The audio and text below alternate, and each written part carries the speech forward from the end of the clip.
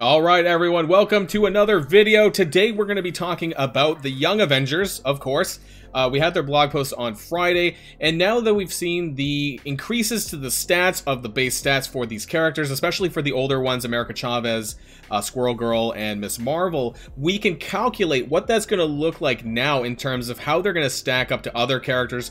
I've done videos like this in the past where I did it with Web Warriors back in December and with Ravagers, and then I compared them to more recent characters in terms of what it really looks like in the grand scheme of things for their stats, how powerful are they going to be now, and also with the new characters Kate Bishop and Echo, we can see based on the roster shots that we saw in the uh, strike time, even though, you know, all these stats aren't up on MSF.gg, we can still see and kind of have a rough idea of what it's going to look like in the whole picture of the team. So, sit back, relax, and let's get this party started.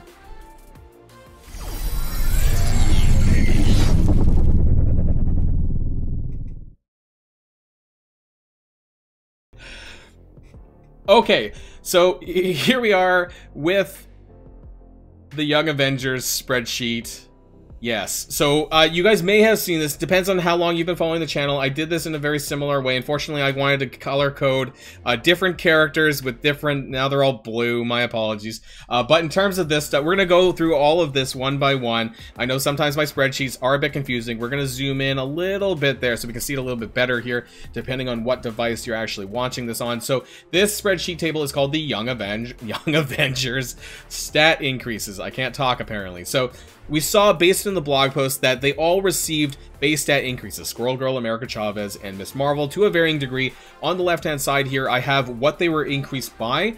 And then the way that we calculate this is you basically go up onto msf.gg, take a 7 yellow, 0 red, zero ISO character, and then basically you take the stat numbers, and that's what the old stats are.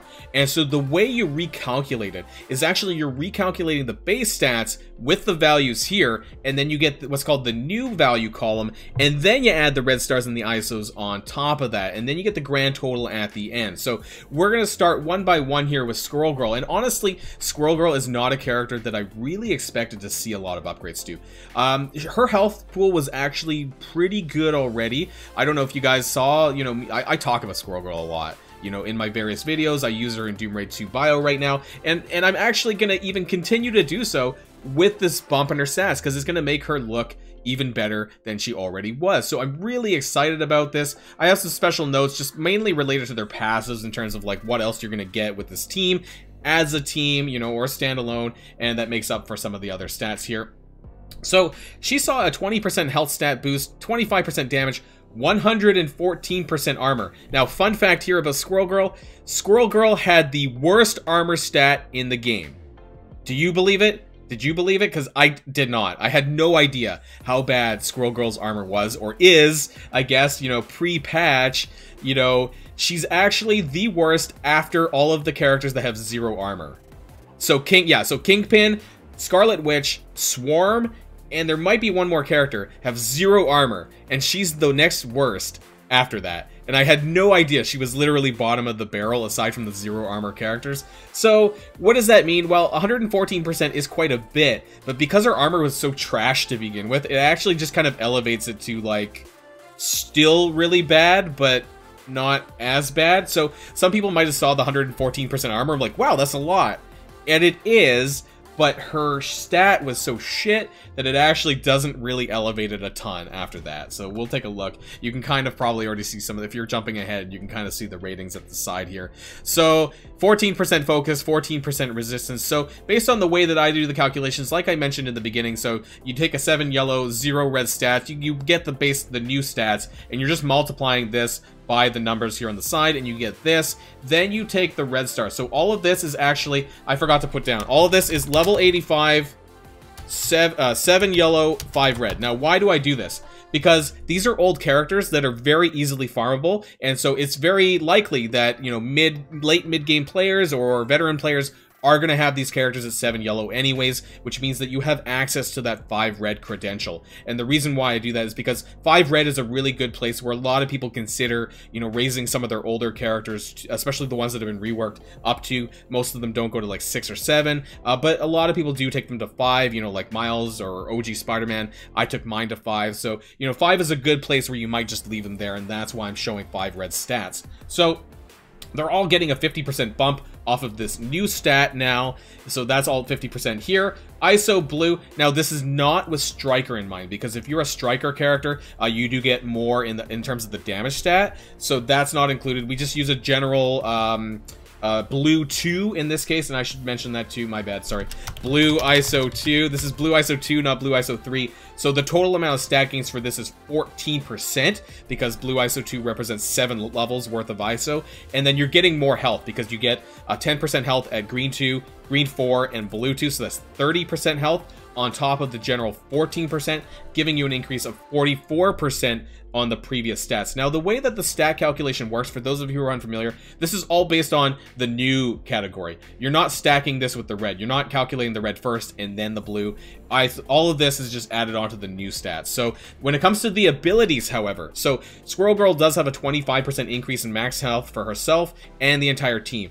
This calculates all of the add-ons. So the new stats, the red star stats, and the ISO stats. So if you see here, it's maybe hard to see, but I basically added these three columns together, these three lines together, and then I times it by 0.25, and then you get kind of what's her grand total when you add everything up here. It's about 700,000 hit points. Now, this is at 7 yellow, 5 red, level 85. Uh, gear tier 15, sorry, I, I forgot to add that too. I'm kind of adding as I go along, apparently. I should have had this there. Gear tier 15, not 16, because realistically, I think Gear Tier 16 is just not a, a, reasonable place to kind of share stats because a lot of people don't are not having that, right? You know, so Gear Tier 15 is, I think, maybe even that's a bit high. Gear Tier 14 might have been better. Uh, but, you know, given how easy it is, I guess now for a lot of people to get Gear Tier 15, if you want to, I, I think that that's okay too. So this is a level 85 7 yellow, 5 red, blue ISO 2, gear tier 15 character. All of this. All these stats represent that. So 700k hit points. What does this mean? Well, she's equivalent to about a Deadpool. So when I have character equivalents in this column, um, I'm kind of giving a shout out to more recent characters where I can, just so people are kind of aware what the stats look like. So she's basically a Deadpool in hit points. That's very good. She's also in the top 10 now. Squirrel Girl is in the top 10 of all of the characters in the game as far as maxed out hit as, as far as their hit points go for the damage. Now, believe it or not, with the bump, Squirrel Girl is as strong as Icarus, as far as raw damage stat. So obviously we know Icarus is super effing powerful because because of his kit, but as far as the pure damage stat goes, she's equivalent to Icarus. So yeah, believe it or not, that's actually where it lands. This puts her in a very good category of top 15 damage stat in the game for Squirrel Girl. Believe it or not, this is true. This is what happens. Uh, Iron Fist, however, this is the character equivalency for her armor. This is not very good. This is actually in the bottom 25 of all the characters in the game. So yeah, we saw that 114% armor increase at the end of the day, it actually doesn't mean a whole lot because his armor is still pretty bad. However, she's got a really huge health pool, so that, you know, you can't have the best of both worlds. I think if she had such a huge health pool and her armor was really high, I think she would just be a mega tank, a mega heal tank, and that's exactly why it didn't happen that way. So this was kind of expected. Her focus stat is also really good, equivalent to a Ghost Spider, which is actually a top 15 in the game. You can see a lot of her rework stats actually puts her in a very good position. Uh, her resistance is equivalent to Scarlet Spider, which is still above average. Uh, she actually lands in the top 30 for resistance. So overall, Squirrel Girl, who didn't really need the buffs that much because her stats were already really good, saw a pretty significant increase to this. So I'm really happy about that. I don't know about you, if there's any Squirrel Girl fans out there like me, I do have a 7 red. And just for just for shits and giggles, you know, let's see. Let's change some of these stats, especially the health. So we can change this to what would it look like with a 7 red. My 7 yellow, 7 red. And so this would be 75% instead of 50%. Her health goes from 700,000 to 783. But then when you calculate this when it comes to war, this is going to change even more. And we're going to take a look at that just for just for pure giggles at the end of the video. We're going to say, you know, on the war defense, with all the buffs that you get from the rooms and all of that, what can I get my Squirrel Girl's health to? That'll be at the end. So we're going to change this back to 50% because that's the purpose of this spreadsheet here. We're going to be talking about, oh, and, and for the record, uh, if you didn't remember from the blog post, uh, Squirrel Girl did get a bump both on max health and drain, so they went from 20 to 25%. So just in the notes here really quickly. America Chavez. Now, this is quite interesting. So she saw the reworks on the side here, 33% to health, 25 damage, 20 armor, 25 focus, and 36% resistance. So again, the same old new. I'm not going to go over this again. We already did this with Squirrel Girl, Red Stars, ISO, Blue 2. Now this is not Striker. A lot of people are recommending Striker for America Chavez. That'll bump her damage up even higher. And when we look on the side here to what she's equivalent to, it's actually pretty interesting. So the totals for her health is really good now. She's actually equivalent to Dagger, believe it or not, and that puts her in the top 15 of all health pools in the game. Wow. And this is without the passive from Squirrel Girl or the rest of the team. This is just her stand alone because she also gives max health, which is really, really nice. Her damage stat, equivalent to Doctor Doom, top 10 in the game. Can you believe it? Can you believe that America Chavez actually has a damage stat top 10 in the game, or at least she will? And before this, it actually wasn't too bad. I believe she was in the top 30 actually prior to this rework, so it wasn't that bad to begin with. Now the question is, yeah, the question is why why did it not feel impactful? Why did America Chavez never really feel that good to begin with?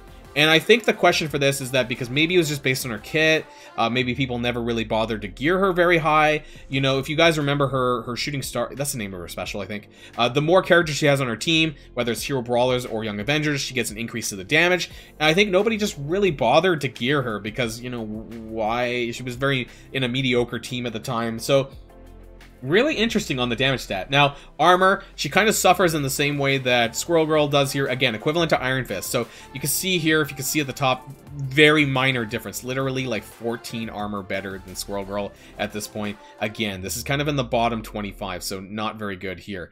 Her focus and resistance also above average. So focus is relevant to relative to Scarlet Spider, which is above average and a top 30. Uh, her resistance is Ghost Spider related and also a top 50. So not as good necessarily as Squirrel Girl here, but still, I think that she'll still be able to do what she needs to do on her focus because she does have a lot of debuffs. She, I think, cleanses or flips, was it? Now on war defense with her ultimate. So I think she'll still be able to do this and I don't think that'll be a huge problem. Now, special notes for America Chavez. Uh, she does reduce enemy drain by 100% on war defense. So this is designed to screw Infinity Watch. Uh, unfortunately, we are not able to test this at this time, but you know, maybe we will uh, in the coming days as we get closer to the patch or when the patch goes out. You know, hopefully maybe on the test server, for example, we might be able to do some testing on that, and that would be a lot of fun to do. Now, she also reduces enemy damage by 20% on war defense with 3 plus Young Avenger allies. So again, that's just across the board. Any team that goes up against her, uh, against them, that's going to happen, which is pretty good. Now, this has been getting a lot of attention here. I'll, I'll, I'll highlight this. On spawn, fills speed bar by 25% for adjacent allies in war defense, and it's not specific to Young Avengers. So this part here, I'm not going to be speaking too much about. I will be doing a separate video for this. I don't know in which the order that the videos will be released in, so it's possible that the video related to this may have already come out. And if you haven't seen it, then go watch it, because I plan on talking a separate video completely about America Chavez's passive, because I think this might be something worth mentioning. So let's move on to Miss Marvel. We can see the increases to her across the board. 17% to health, 14% to damage, 20 to armor, 60 to focus, and 48 to resistance. So this is the new total here. We could go to the end here. Uh, she does get a 20% boost. Uh, sorry, she does get a 25% boost to armor. So that's included here. So we're including that in the grand total in terms of her stats. Uh, so what does this mean now? And what does it look like? So her total health is actually pretty good. She is the de facto sort of tank off tank, whatever you want. She's constantly taunting uh, for the Young Avengers. Uh, she's equivalent to a Silver Surfer.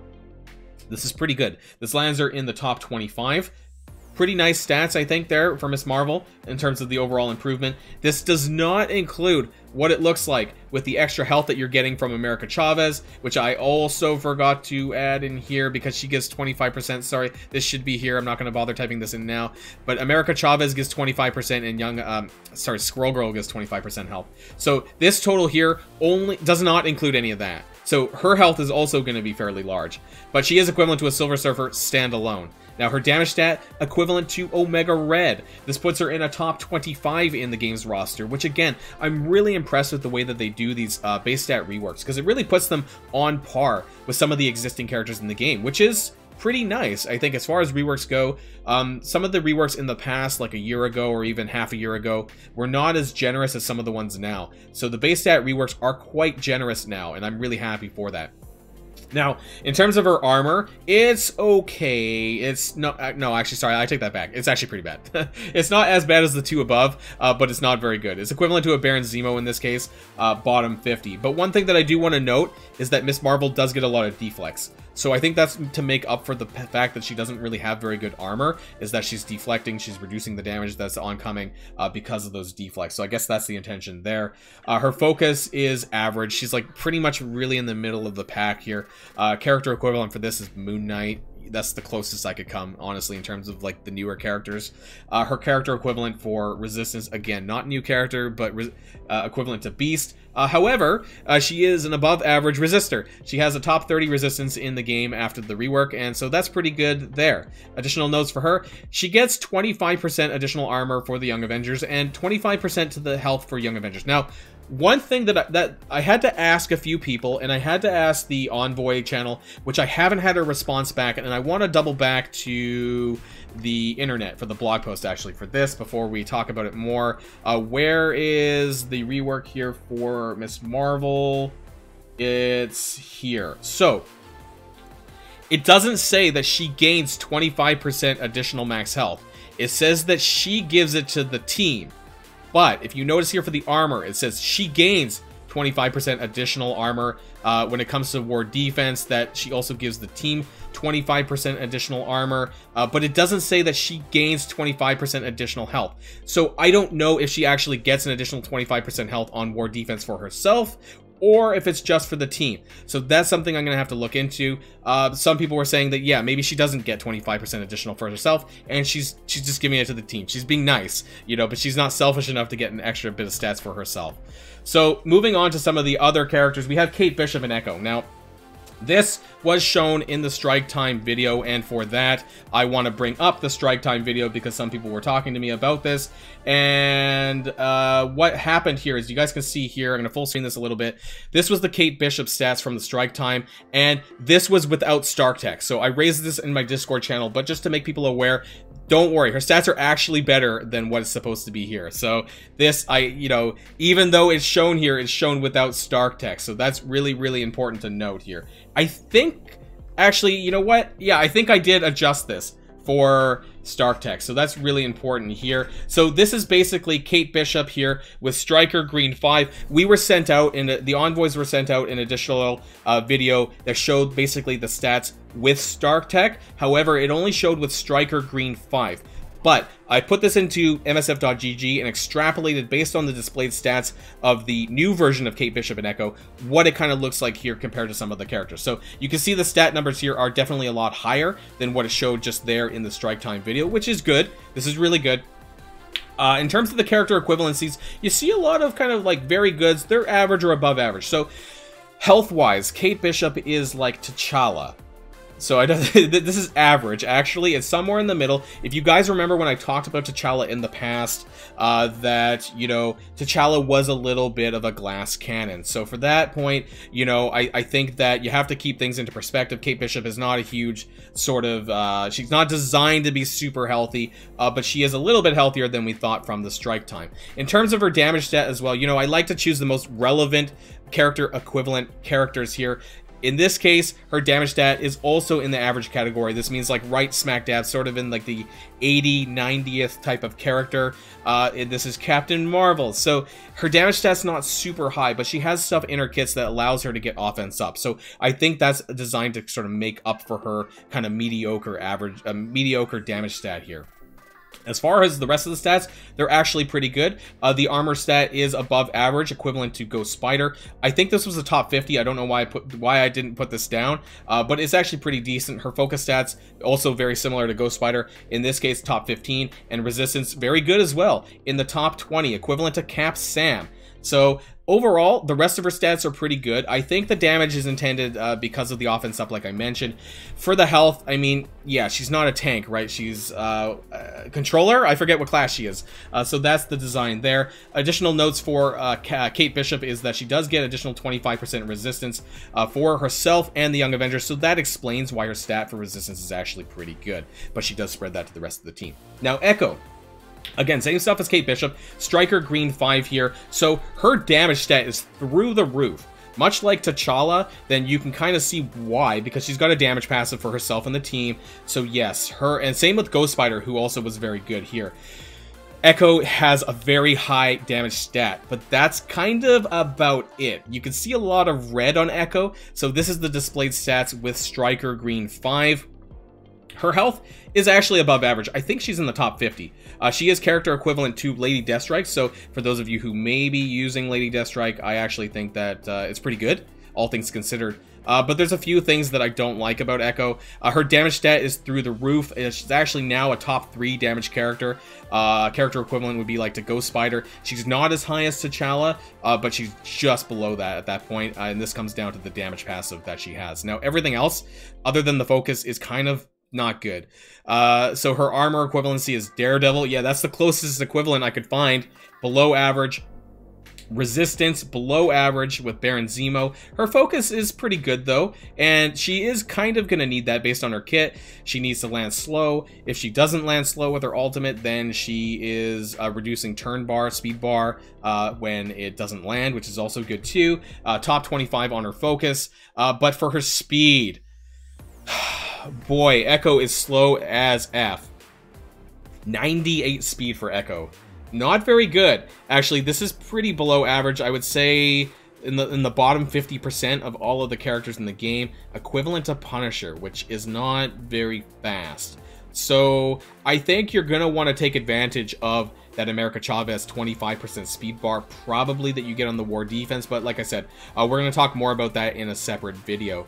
But yes, her speed suffers the most here out of all of the characters. So Echo, yes, Echo, Kate Bishop, and the rest of the Young Avengers. This is how the stats and the kits uh, shape up for her, for them, sorry, on war defense. Obviously, they're going to be getting a lot more when it comes to health and other stats being on war defense because you get things like uh, sorry, you get things like uh, the barracks, 20% there. Medbay, 40% in health. You get cargo bay, an additional 20% for more ready. Uh, you know, there's there's how much is there? Like an additional, a lot of extra hit points, right? So 40% medbay, 20% barracks, 20% cargo bay. That's 80%, and then 75% for Squirrel Girl, or sorry, 25 for Squirrel Girl, 25 for America Chavez, and 25 more for Miss Marvel. 75% for the team, 80% for the war boss. That's 155%.